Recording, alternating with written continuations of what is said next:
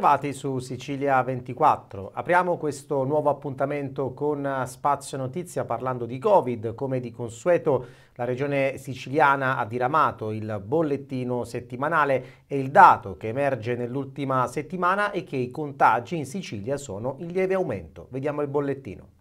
Nella settimana dal 2 all'8 gennaio in Sicilia si è assistito a un lieve incremento delle nuove infezioni da Covid in linea con la tendenza nel territorio nazionale. I nuovi positivi sono stati 11.284 più 3,47% rispetto alla settimana precedente. Il tasso più elevato rispetto alla media regionale si è registrato nelle province di Ragusa, Palermo e Messina. Le fasce d'età maggiormente a rischio sono quelle tra i 70 e i 79 anni, tra gli 80 e gli 89 anni e gli over 90. Questi i dati diffusi nell'ultimo bollettino settimanale del Dipartimento Attività Sanitarie e Osservatorio Epidemiologico dell'Assessorato alla Salute della Regione Siciliana. Anche le nuove ospedalizzazioni sono in lieve aumento, sebbene la diffusione dei contagi pregressi si rifletta ancora su una prevalenza di soggetti ospedalizzati con positività concomitante da Covid.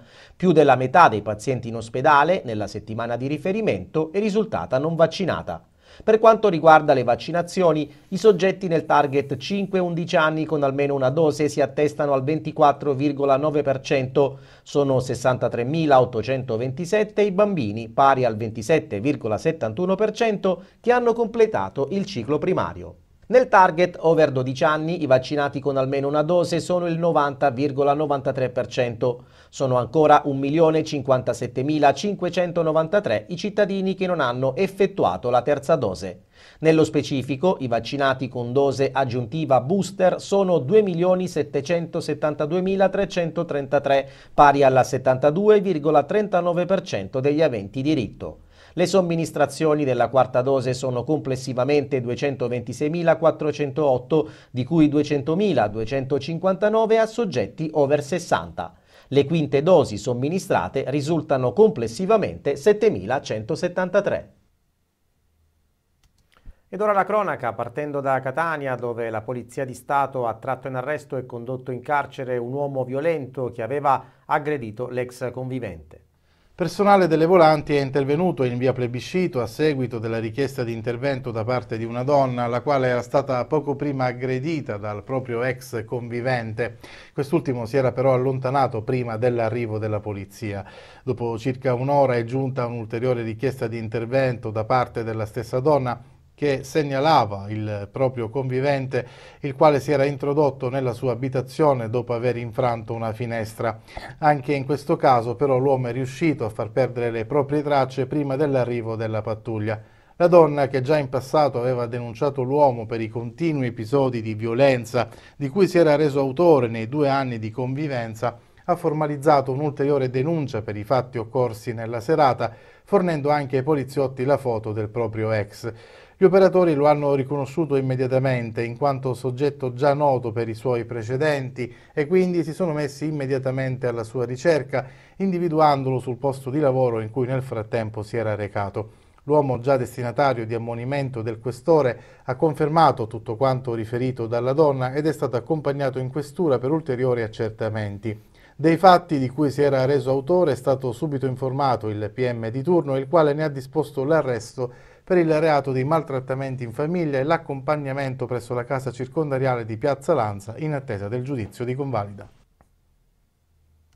Parliamo ancora di stalking, ma ci spostiamo da Catania a Siracusa, dove i carabinieri della stazione di Ortigia hanno arrestato su ordine dell'autorità giudiziaria un pregiudicato di 50 anni, il quale nel 2018 si era reso responsabile di maltrattamenti in famiglia e stalking nei confronti dell'ex moglie. La pattuglia lo ha rintracciato e tradotto presso la casa circondariale Cavadonna a disposizione dell'autorità giudiziaria che ha emesso il provvedimento definitivo. Torniamo a Catania, stavolta però per parlare di spaccio di sostanze stupefacenti e dell'arresto effettuato dai carabinieri di due fratelli, il servizio. I carabinieri del nucleo operativo della compagnia di Catania Piazza Dante hanno arrestato in flagranza due fratelli di 55 e 57 anni, entrambi già conosciuti dalle forze dell'ordine, per detenzione di sostanze stupefacenti ai fini di spaccio. La pattuglia del nucleo operativo, mentre stava svolgendo un servizio perlustrativo per la prevenzione di reati contro il patrimonio, ha notato in via Vaglia Sindi un'autovettura il cui conducente, inspiegabilmente, teneva una condotta di guida pericolosa, ponendo in serio pericolo i pedoni e gli altri utenti della strada. I militari hanno così immediatamente proceduto a imporre l'alt al guidatore, sottoponendolo a una perquisizione unitamente al passeggero, suo fratello, nonché estendendo la ricerca anche all'autovettura. Lo sguardo allarmato tra i due fratelli è stato notato dai militari che ben presto ne hanno compreso il reale motivo poiché all'interno dell'abitacolo i carabinieri hanno rinvenuto in una bustina di plastica una pietra di cocaina del peso di circa 8 grammi, mentre nelle tasche dei due hanno rinvenuto la somma di 119 euro, anch'essa sequestrata perché ritenuta provento dell'attività di spaccio. I due sono stati posti a disposizione dell'autorità giudiziaria che ne ha convalidato l'arresto disponendo per i due fratelli l'obbligo di presentazione alla polizia giudiziaria. Un rapinatore seriale è stato tratto in arresto sempre nel Catanese. Si tratta di un 32enne che aveva effettuato diverse rapine in diversi esercizi commerciali. Vediamo il servizio. La Procura distrettuale della Repubblica, nell'ambito delle attività investigative a carico di Andrea Fazio, un 32enne pregiudicato di Giarre, indagato per i reati di rapina e ricettazione, ha richiesto e ottenuto nei suoi confronti il provvedimento cautelare della custodia in carcere, emessa dal GIP del Tribunale Etneo ed eseguita dai carabinieri della stazione di Mascali presso la casa circondariale di Caltagirone, dove l'indagato si trova ristretto per altra causa. I fatti che hanno originato l'emissione della misura restrittiva si sono verificati nel comprensorio giarrese del mese di agosto dello scorso anno, durante il quale era stata constatata la recrudescenza di rapine a mano armata ai danni di esercizi commerciali del Mascalese e di Fiumefreddo di Sicilia. Le indagini, grazie all'attenta disamina delle immagini dei sistemi di videosorveglianza delle attività economiche prese di mira, hanno avuto un immediato impulso consentendo una verosimile identificazione del responsabile in Andrea Fazio.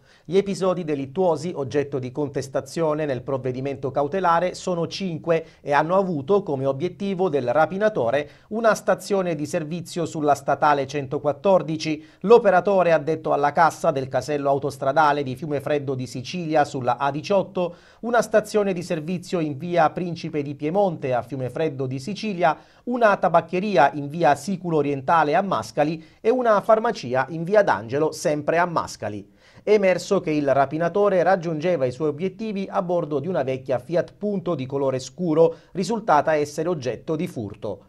Il suo modus operandi era connotato dalla serialità delle incursioni e dall'utilizzo della medesima autovettura, degli indumenti e delle armi, in particolare una pistola semiautomatica privata del tappo rosso e un grosso coltello, nonché dalle identiche modalità con le quali si rivolgeva alle atterrite vittime, minacciandole di morte qualora non avessero consegnato il denaro. Numerosi ai fini dell'identificazione dell'indagato sono stati gli elementi di riconoscimento sfruttati dai militari, dapprima l'autovettura utilizzata nelle scorribande, recante la mancanza dello sportellino del bocchettone di rifornimento, la mancanza dei copricerchi anteriori e una vistosa anomalia sulla vernice del cofano motore. Le dichiarazioni delle vittime del reato circa le fattezze fisiche del rapinatore sono state univoche e concordanti nel descriverlo di un'altezza di circa 1,80 m, di corporatura longilinea linea e che indossava una mascherina chirurgica, occhiali da sole, un cappellino con visiera e in particolare nell'evidenziare la presenza su un ginocchio di un tatuaggio visibile grazie ai bermuda solidamente indossati. Tali elementi pertanto hanno permesso di identificare con ragionevole certezza Fazio e sottoporlo ad attività tecnica di investigazione mediante l'applicazione di un sistema GPS sull'autovettura preventivamente localizzata dai militari. Fazio è stato arrestato in flagranza il successivo 31 agosto dai carabinieri della compagnia di Giarre per i reati di rapina consumata e tentata, resistenza pubblico ufficiale e ricettazione. I dati informativi acquisiti attraverso il sistema di localizzazione e intercettazione video Presidio infatti proprio poco dopo aver tentato nella mattinata del 31 agosto una rapina in una stazione di servizio sita in via Ruggero I a Mascali hanno consentito di localizzarlo appena dopo aver realizzato un ulteriore assalto, stavolta portato a termine ai danni di una tabaccheria di Corso Messina. Il dispiegamento delle pattuglie dei carabinieri però lo ha intercettato a bordo della Fiat Punto in Corso Europa a riposto, con Fazio che anziché fermarsi all'alt ha preferito lanciarsi in una pericolosissima fuga tra i pedoni e utenti della strada, speronando un'autovettura dei militari e imboccando un senso vietato che inevitabilmente lo ha fatto poi collidere con un'altra autovettura. Nonostante ciò Fazio, riuscendo a uscire attraverso il finestrino dell'auto, si è lanciato in una fuga a piedi per i condomini circostanti fino a quando è stato bloccato e posto in sicurezza dai militari. In occasione dell'arresto in flagranza di Fazio, inoltre, a sostegno del gravoso quadro indiziario delineatosi a suo carico, si è aggiunto anche il ritrovamento all'interno della Fiat Punto di un coltello di circa 30 cm, di una pistola a giocattolo privata del tappo rosso, di una mascherina chirurgica e degli occhiali da sole da quest'ultimo utilizzati nel corso delle rapine, nonché la somma di 902 euro e un quantitativo di sigarette frutto dell'ultimo assalto appena realizzato. Anche a Caltanissetta sono stati beccati gli autori di una tentata rapina, in questo caso ai danni di un negoziante. Si tratta di quattro giovanissimi finiti ai domiciliari. Vediamo il servizio. La squadra mobile nel corso delle indagini preliminari ha eseguito quattro ordinanze di custodia cautelare agli arresti domiciliari emesse dagli uffici del GIP del Tribunale Ordinario e del Tribunale per i minorenni di Caltanissetta su richiesta delle rispettive procure della Repubblica nei confronti di tre minorenni o maggiorenne per il reato di tentata rapina. I quattro indagati sono sospettati di aver tentato di rapinare un commerciante che ha una rivendita di oggettistica nel centro storico del capoluogo.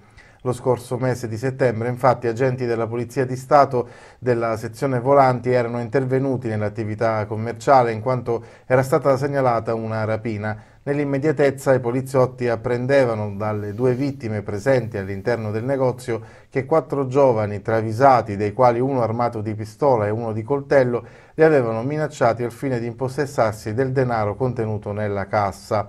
La resistenza del titolare aveva fatto desistere i giovani rapinatori che si erano dileguati prima dell'arrivo delle volanti. Gli investigatori della squadra mobile, sin dai primi istanti successivi alla tentata rapina, hanno acquisito fondamentali elementi per la ricostruzione dell'accaduto, esaminando numerose immagini registrate dagli impianti di videosorveglianza, ricostruendo le fasi di preparazione della rapina, quelle dell'esecuzione e la fuga degli autori.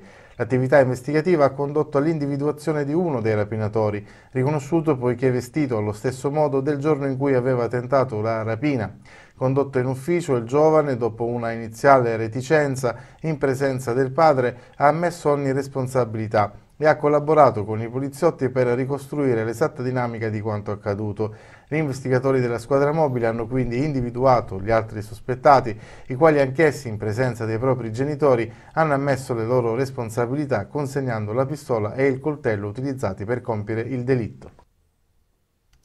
Altri due giovanissimi, due minorenni, sono stati invece denunciati dalla polizia a Milazzo, nel Messinese. Gli agenti infatti li hanno trovati in possesso di petardi e candelotti artigianali. Vediamo il servizio.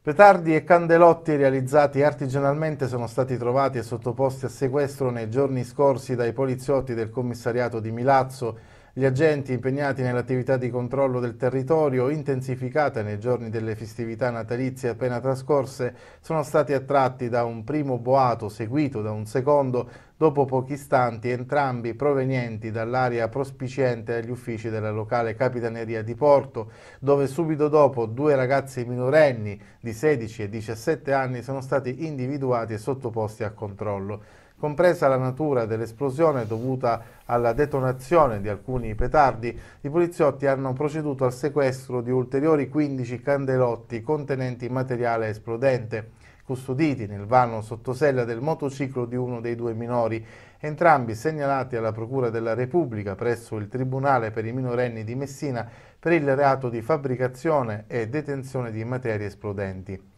Dopo gli atti di rito i minori sono stati riaffidati ai rispettivi genitori, sono in corso ulteriori indagini per stabilire la provenienza del materiale sequestrato. Chiudiamo questa edizione di Spazio Notizia, ma l'informazione ovviamente prosegue su Sicilia 24. A più tardi.